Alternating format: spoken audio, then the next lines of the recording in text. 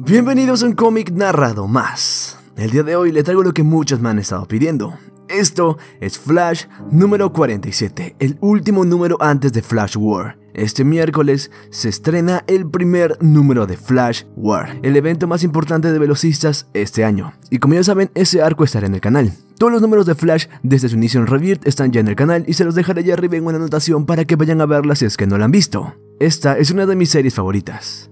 Este cómic fue traducido por Anthony Franco Oro Mendoza. Muchas gracias por el trabajo, compañero. Ahora sí, vamos a darle inicio a Flash War. Si te gustan los cómics y los superhéroes, dale un like a la página en Facebook, regálame un follow en Twitter y suscríbete porque este, este es tu canal. Sin nada más que decir, empecemos una vez con esta historia. Empezamos en una época ya olvidada. Hunter Solomon nos iba diciendo, la tragedia siempre ha sido parte de mí.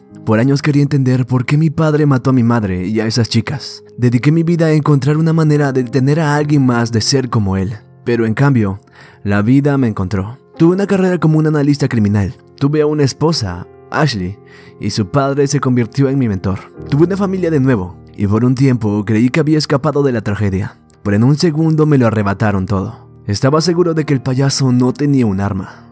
Pero me equivoqué. Me di cuenta que cualquier error podía llevar a un segundo que no podrías recuperar. Mi vida se había acabado. El nombre de Hunter Solomon fue rechazado. Solo la ciudad de Keystone me aceptó. No me quedaba nada. Luego conocí a Wally West, a Flash. Nuestra amistad me ayudó a reconstruir la vida que perdí, pero cuando lo necesitaba no estaba allí.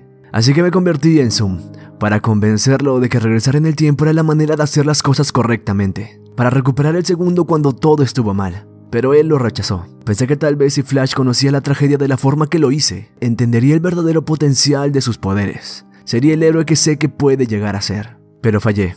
El hombre quien alguna vez llamé amigo ahora me llama villano. Sin poderes, ralentizado, pero con una mente clara de nuevo. Al fin pude reflexionar. Todavía sé que puedo convertir a Wally en el verdadero héroe que todos creemos que es, pero tengo que dejar ir al pasado y ver el futuro. En eso, vemos como alguien irrumpe en la celda de Hunter Solomon. Esta persona era Eobard Thorne. Escuché que tienes una idea, Solomon. Tú puedes mejorar nuestra condición. El estudiante está listo para convertirse en el maestro. Y ahí teníamos a Reverse Flash. Hunter Solomon nos seguía diciendo. Eobard estaba obsesionado con Barry Allen, el Flash original. Por años, como el Flash reverso, atormentó a Barry, lo hizo sufrir. Flash nos decepcionó en el pasado, pero juntos Quizás podemos finalmente poner a ambos Flashes en el camino correcto para que sean mejores héroes. En eso regresamos a la Tierra. Teníamos a Iris West conversando con Barry Allen. Barry, ¿por qué solo le está pasando esto a Wally? ¿Por qué no le pasa a mí o a ti? Iris, tranquila, ¿cómo estás? Es como si intentara recordar una película una vez que la viste hace mucho tiempo, pero no, no puedo. Es lo que yo he sentido desde que Wally regresó. En eso escuchan un grito. ¡No! Y Barry simplemente sale corriendo. El grito era de Wally West. Él estaba siendo estudiado por Cyborg y su padre. Yo ya me cansé, sácame esta cosa, decía una y otra vez Wally West. Cyborg le responde, tienes que relajarte y dejar que la tecnología de mi padre haga lo suyo, Wally. Silas Stone también dice, tal vez si pudiéramos interactuar directamente con el cerebro, podríamos ser capaces de obtener una mejor visión. No, no más pruebas. Pero Barry también estaba en el lugar y le dice, no puedes vibrar para salir del dolor. Todos estamos preocupados por ti. Tus recuerdos son un desastre.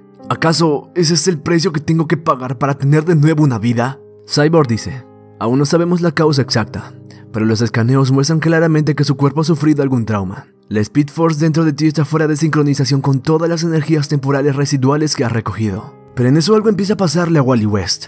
¿Vic? ¿Estás bien? Te ves como si hubieras visto un fantasma, viejo. Yo... yo odio todo esto. Siempre tiene que pasar algo. Desde que tengo estos poderes, siempre pasa algo. Me estaban matando. Eventualmente me harían descender a la Speed Force, quedando atrapado en ella. Me liberé para luego tener un problema cardíaco. Lo superé todo y haré lo mismo con esto. Barry se acerca y le dice, podemos superarlo juntos. Sé de alguien más con quien podremos hablar. No, yo no quiero más pruebas. Y se viste con su traje de Flash. Barry le seguía diciendo, tuve visiones como estas justo antes de que regresaras. ¿Lo recuerdas? Eras tú intentando hablarme, y luego pasaron todas las cosas buenas. En eso Iris lo detiene, le dice que no siga. Y bueno, Barry algo molesto simplemente se va, a buscar respuestas en otro lado. Él se había dirigido a la Batcave, Pero en la Batcave no estaba Bruce. Solo se encuentra Alfred y le dice que el señor Wayne estaba resolviendo unos problemas con Booster Gold, unos problemas personales. Él le pregunta a Alfred cómo es que Bruce lo hacía, cómo es que no se preocupaba por sus Robins. Y Alfred le responde que él sí se preocupaba por ellos. Todo cambia cuando te conviertas en un padre. En eso, Barry simplemente se va, y de fondo volvemos a escuchar el relato de Hunter Solomon. Por años quería regresar al pasado, retomar mis errores. En su lugar, me encontré en el futuro, protegido de los cambios de la línea del tiempo, el siglo 25 para ser exactos, el hogar de Eobard En eso vemos que Eobard estaba con Hunter Solomon. Él le iba diciendo, Se acabó, Hunter. ¿Cuánto tiempo más debemos esperar? Solo déjame retroceder en el tiempo y hacer los cambios que quieres en tu vida. Estoy cansado de esperar para que todas tus piezas encajen. Hunter Solomon le responde, esto es más grande que yo, más grande que nosotros. Hemos sido atrapados en los mismos ciclos infinitos contra dos hombres que se hacen llamar a sí mismos Flash. Sé que puedo hacer cambios para mejor, pero solo si lo hacemos primero con ellos. Si realmente entienden la tragedia como nosotros, harán cualquier cosa para detenerla. Ambos se convertirán en los hombres que realmente creemos que son. Eoberthon le responde, te conseguí la ayuda que necesitabas para que pudieras caminar de nuevo. Hemos tomado completamente los tribunales del tiempo. Dices que estoy obsesionado, pero sigues creyendo en un cuento de hadas. En un cuento en el que los flashes algún día estarán a la altura de la idea que tienes en tu cabeza, sin importar cuántas veces lo rechacen. Hunter le responde, escúchame por favor, Hobart. He estudiado todo el historial de Flash, cada perfil, todo. Tú quieres arruinarlos, pero es vital que los hagamos crecer y entender. Juntos, Debes ser un poco paciente. Pero Eobard ya estaba un poco cansado. Barry Allen me decepcionó más veces de las que puedo contar, pero todavía creo en lo que él me dijo. Cada segundo es un regalo. Hunter le responde, esto es una mentira. A veces un segundo puede ser una maldición. Si nos apuramos en las cosas sin tener cuidado, sin pensar, debemos apegarnos al plan. ¿A tu plan? Es el único plan que importa, Eobard. Entonces tal vez es hora de que comience a hacer mis propios planes. Puedes quedarte aquí y seguir teniendo fe en tus preciosos héroes. Pero yo, yo voy a volver al siglo XXI para obtener lo que me corresponde. Ahora. Y Reverse Flash, Everthome simplemente se va. El relato de Hunter Solomon continúa. Nunca le diría esto a Eobard, pero tiene mucho en común con Wally West. Después de la muerte de Barry Allen, Wally me dijo que siempre que se frustraba o necesitaba pensar, él corría. Él volvería a revivir sus fracasos pasados y sus victorias. A veces iría a donde creció, recordar la vida que tuvo antes de conocer a Barry Allen, y luego regresaba donde su vida cambió para siempre. Pero había un lugar que siempre visitaba, el Museo de Flash. Iba después del trabajo cuando podía estar solo y hablaba con su héroe. Por supuesto, Barry nunca le respondió, pero sí inspiró a Wally, ayudó a guiarlo fuera de las sombras, a su propio camino como héroe. Ahí teníamos a Wally West. Barry se aparece detrás de él. Wally, te busqué por todas partes, ¿estás bien? Wally le responde, sí, sí lo estoy. Solo necesitaba aclarar un poco mi mente. ¿Sabes qué hacía cuando me sentía perdido y necesitaba respuestas? Yo venía aquí. ¿Aquí? ¿Por qué? El Museo de Flash siempre me hizo sentir a salvo. Wally, no hay ningún museo de Flash. Aún no. No por mucho tiempo. Y así era.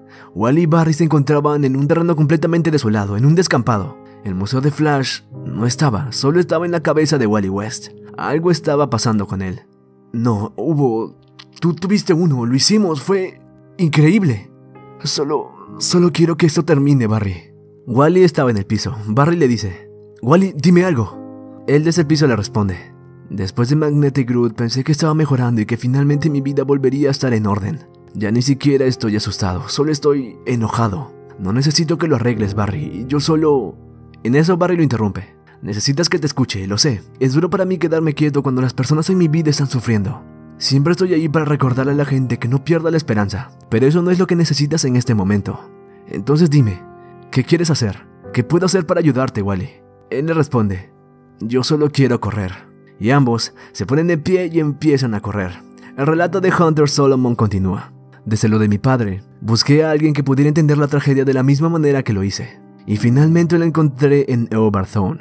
Pero esta vez, la tragedia lo encontró. No debía haber dejado que Oba regrese solo. Debía haber corrido junto a él. Ahora, lo veo morir una y otra vez. Todo porque no me escuchó. Estaba tan seguro de poder hacer que Wally y Barry finalmente estuvieran a la altura de nuestras expectativas. Pero yo estaba equivocado. y al igual que antes, alguien me ayudó a escapar de la tragedia de mi vida. Y él murió. Es hora de aceptar la verdad. Thone tenía razón. Los flashes no merecen mi fe. Y vemos cómo Zoom, Hunter Solomon, rompe las pantallas en su estudio en el siglo 25. Él termina diciéndonos, ellos no merecen nada. Si los flashes se niegan a ver el camino para ser mejores héroes, entonces, en ese caso, los llevaré por el camino de la guerra. La Flash War inicia.